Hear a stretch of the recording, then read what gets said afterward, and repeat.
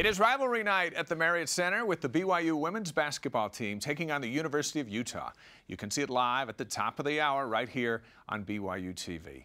The matchup brings Cougars head coach Jeff Judkins back together with the school that made him a household name in the Beehive State. True Blues Caitlin Jenne reports. Jeff Judkins begins his eighth season as head coach of the women's basketball team, and he has received numerous honors from the MWC as head coach of the year, and his players enjoy his unique style of coaching.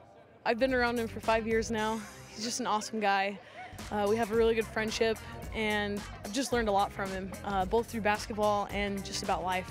Juddy is one of a kind. um, I love Jed. He's he's done more than I could ever ask for for me. I love Coach Judkins. I think he's awesome. He's a great X's and O player, and um, you know, one reason I came to BYU was because he was a defensive-minded coach, and he knows what he's doing. He's intense. Uh, if you ever come to a game and watch him, he's on his feet the whole game.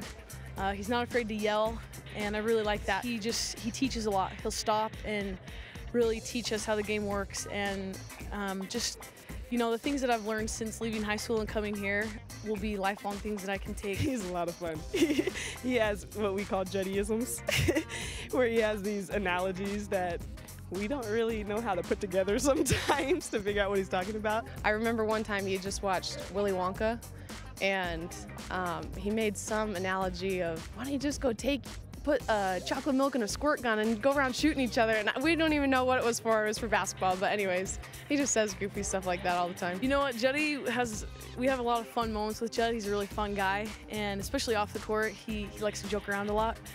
But uh, this one time, we were having a really serious uh, like team scripture study time and it was on the road and after we kind of got done and he was kind of trying to be inspirational he couldn't really think of anything to say, so he said, May the force be with you. And all of us just kind of looked around like, what the heck? We just started laughing, and it's always been just a joke since then. May the force be with you. We'll tease him about that. He adjusts with the players. You know, I, I love his style of play. I love getting your face defense and, and just hard work and tough play. He, we always just know what to expect with him. He's really consistent. Um, he's a great motivator before games start, gets us going. But he's a really fun coach. I mean, he's hard on us, he pushes us, but at the same time, we know he loves us and we know that he's, he's there for us and he makes basketball fun to play.